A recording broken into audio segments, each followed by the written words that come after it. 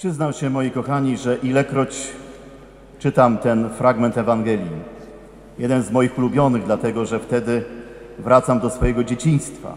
A któż by nie chciał wracać do swojego dzieciństwa, gdzie człowiek niczym przejmować się nie musiał, wszystko miał podane i miał kochanych rodziców, przyjaciół, tylko że ta szkoła trochę przeszkadzała, bo człowiek chciał mieć ciągle wakacje. Ale powiem, dlaczego wracam do dzieciństwa. Dlatego, że wśród naszych sąsiadów, właśnie w jednym z mieszkań, pamiętam jako bardzo młody człowiek, że był przepiękny obraz, który nawiązywał do dzisiejszej Ewangelii. Ten obraz mówiący właśnie o Piotrze, który już był zanurzony bardzo głęboko w wodzie, i Panu Jezusie, który trzymał Piotra mocno za rękę. I tak pamiętam z tegoż dzieciństwa, jakże się wtedy cieszyłem i ponoć nawet rodzicom mówiłem, że dobrze jest, że Jezus jest tak blisko, że tego Piotra wyratował. Moi drodzy, gdy dzisiaj gromadzimy się na tej kolejnej naszej miesięcznicy, jak to nazywamy, czyli tej mszy świętej, gdzie modlimy się w intencji ofiar katastrofy smoleńskiej, to Jezus w dzisiejszej Ewangelii jeszcze raz nam chce pokazać i przedstawić, jakże On pragnie nas ratować z różnych trudnych sytuacji.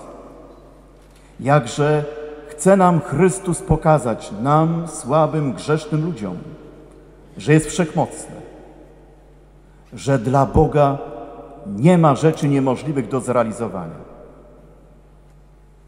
że Bóg, ten, który jest Panem Wszechświata, ten, który jest Stwórcą nieogarnionym, chce przyjść z pomocą każdemu człowiekowi, nawet w tych sytuacjach trudnych i beznadziejnych. Moi drodzy, tak się zdarza, że ktoś czasem oddali się od Pana Boga. Nieraz tak się zdarzy i myślę, że my też jesteśmy tego świadkami, że zejdziemy bardzo daleko nieraz z dróg Bożych.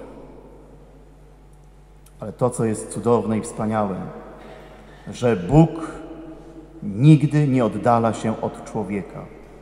On zawsze jest blisko człowieka. Że znaleźć go można w każdym momencie, w każdej chwili. Można rzucić mu się w ramiona i być uratowanym. Moi drodzy, święty Piotr, ten dzisiejszy bohater, bo trzeba tak powiedzieć.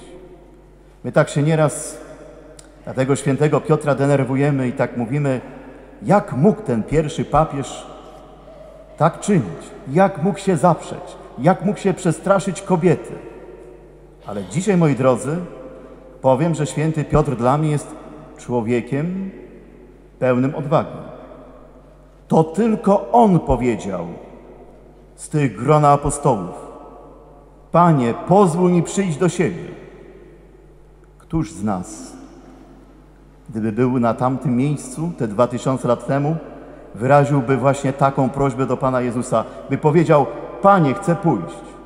Ja bym się lękał. A on wyszedł.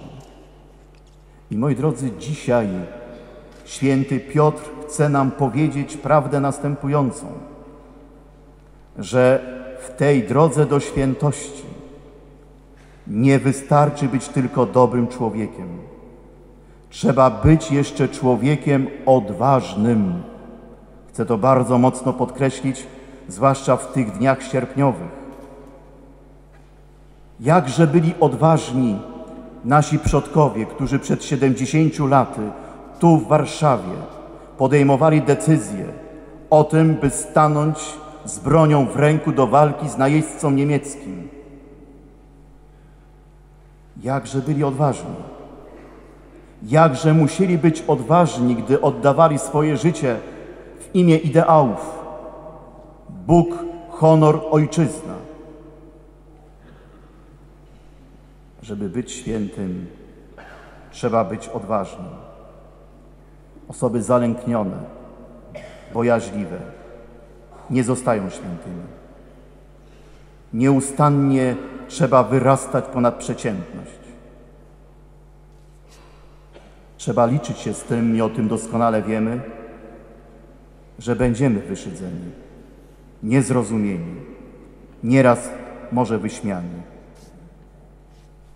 Jakże potrzebna jest odwaga i moi drodzy w stosunku do samych siebie, żeby pokonywać własne słabości i własne lęki. Jakże potrzeba odwagi w relacjach z innymi ludźmi dzisiaj, którzy wybierają inną drogę. Bo tacy ludzie będą wszystko czynić, byśmy z tej drogi świętości zeszli, z drogi Bożej byśmy zeszli. Podstępem, ironią, szyderstwem, zastraszaniem, a nieraz nawet i przemocą. Dlatego też, gdy patrzymy na świętych, to można dojść do przekonania jednego, moi drodzy. Świętego można zabić, ale nie można go zastraszyć, bo jest blisko Boga. Jakże dzisiaj dziękujemy Panu Bogu za świętych dnia dzisiejszego i współczesnego. Jakże dziękujemy za świętego Jana Pawła II nieustannie, który pokazywał nam odwagę w naśladowaniu Chrystusa. Chrystusa, który jest radosny, czuły, który wtula w swoje ramiona ludzi dobrej woli, który przyjmuje nawracających się grzeszników. Ale jakże była również odwaga Jana Pawła II w naśladowaniu Chrystusa stanowczego, broniącego pokrzywdzonych, upominających ludzi złej woli. A jakże nie powiedzieć o słudze Bożym kardynale Stefanie, Wyszyńskim. Czyż jego życie nie było nacechowane postawą świętości, ale tej odważnej świętości? Jakże zdecydowanie nie zgadzał się na wyrzucanie Boga z życia społecznego, o co chodziło władzom ówczesnym. Jakże odważnie rozmawiał z rządzącymi i zachowywał pełną wierność Bogu i Kościołowi. Zaowocowało to więzieniem. Poszedł do więzienia, bo był człowiekiem odwagi. A błogosławiony ksiądz Jerzy Popiełuszko, ta odwaga świętości zaprowadziła go do męczeństwa. Ksiądz Jerzy wiedział dobrze, co robi. Wiedział i słyszał, jak władza mu groziła. Ale nie rezygnował z drogi obranej. Tak jak prymas Wyszyński. Ksiądz Jerzy to ciągle podkreślał. Ja nie mogę zostawić ludzi, do których Pan Bóg nie posłał. Moi drodzy, ci ludzie mogą być dla nas takim wzorem, wzorem odwagi, której dzisiaj tak bardzo potrzeba. Potrzeba, bo ciągle mamy się uczyć wierności Bogu, własnym ideałom, wierności danemu Słowu. Jakże dzisiaj nie przypomnieć po raz kolejny, dzisiaj zwłaszcza słów Jana Pawła II, który przypominał nam, co to znaczy być człowiekiem sumienia. I mówił, to wymagać od siebie, to podnosić się z własnych upadków, to ciągle na nowo się nawracać, to angażować się w budowanie Królestwa Bożego, Królestwa prawdy i życia, sprawiedliwości i pokoju. A to budowanie ma być w naszych rodzinach, społecznościach, w całej naszej ojczyźnie.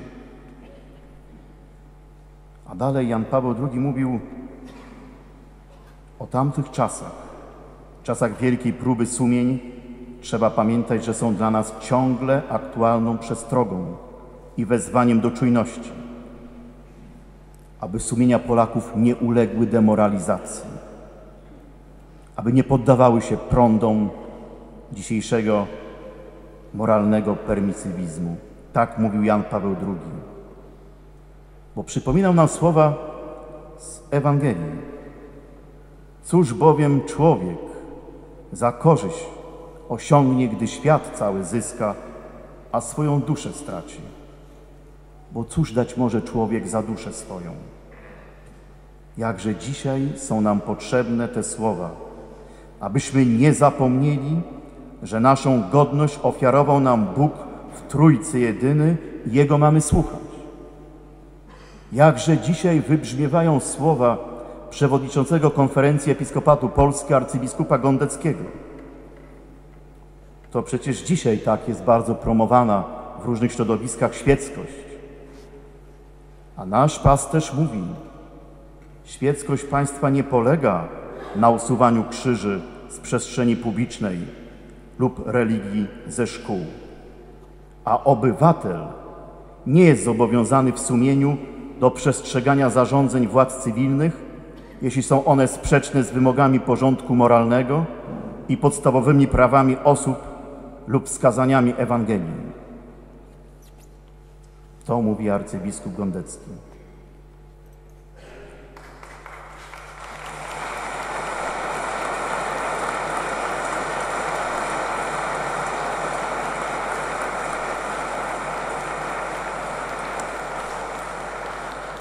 Swoim papieskim nauczaniu Jan Paweł II powiedział, że niesprawiedliwe prawa stawiają ludzi moralnie prawych w obliczu dramatycznych problemów sumienia. Gdy wymaga się od nich współpracy w działaniach moralnie złych, mają oni obowiązek odmówić uczestnictwa w tych działaniach i Bogu dziękować, że dzisiaj są takie osoby, które potrafią z tych słów uczynić swoją postawę życiową. A dzisiaj Jezus mówi: odwagi, ja jestem, nie bójcie się. Mówi do nas dzisiaj zgromadzonych na tej Eucharystii, gdzie modlimy się za naszych tragicznych, tragicznie zmarłych braci i sióstr pod Smoleńskiem. Nie bójcie się, mówi dzisiaj Jezus. Oni znajdą mieszkanie w domu mego Ojca. Nie bójcie się, mówi Chrystus. Ich ofiara życia wyda piękny ewangeliczny plon. Nie bójcie się, gdy wołacie: My chcemy Boga w książce w szkole. Nie bójcie się, prawda zwycięży.